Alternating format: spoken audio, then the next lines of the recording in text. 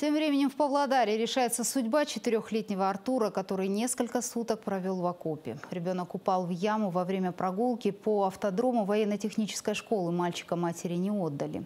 Из областной детской больницы его перевели в приют. А через пару недель в ювенальном суде начнется процесс по лишению женщины родительских прав. Она навещает ребенка в приюте, навещает довольно часто, ребенок к ней тянется. И чувствуется, что отношения между ними очень хорошие, теплые. Ну, я не думаю, что суд будет на ее стороне. Выяснилось, что у 42-летней женщины есть и старшая дочь. Она тоже находится в специализированном интернате. Нерадивая мать приходила в отдел образования, просила вернуть сына, но теперь искренность материнской любви ей придется доказывать в суде.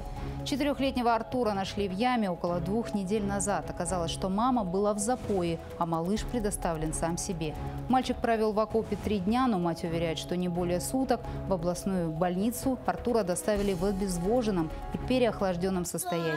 Выяснилось, что четыре года назад его маму уже ограничивали в родительских правах. Тогда Артуру было всего несколько месяцев, но женщина устроилась няней в детский сад, собрала положительные характеристики и спустя полгода вернула себе ребенка.